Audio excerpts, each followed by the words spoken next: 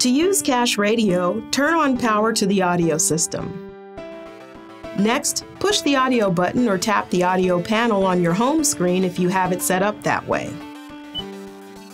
The main audio screen will come up. Make sure you're listening to AM or FM radio. Cache Radio records automatically whenever you listen to AM or FM. Cache Radio allows you to pause live local broadcast radio for up to 20 minutes without missing a thing. As soon as you press the pause icon at the bottom of the screen, the cache controls appear. You can press play to pick up where you left off, or fast forward or reverse through the content recorded so far. Or you can tap the live button to listen to the broadcast in real time. When you make or receive a phone call through the Entune system, Cache Radio pauses automatically.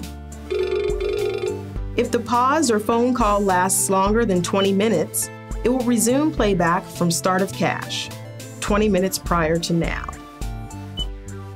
The cache empties to make room for new content whenever you change radio channels or turn the vehicle off.